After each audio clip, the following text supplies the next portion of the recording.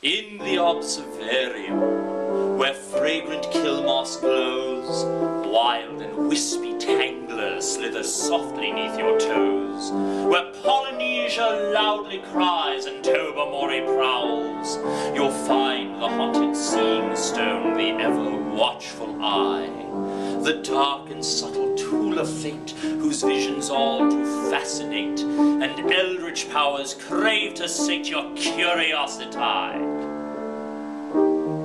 Come sate your curiosity for tales of the macabre and sinister, and join us here in the Observarium at the Chopin Theatre Lounge on Friday, November 9th and Saturday, November 10th. We look forward to making your acquaintance.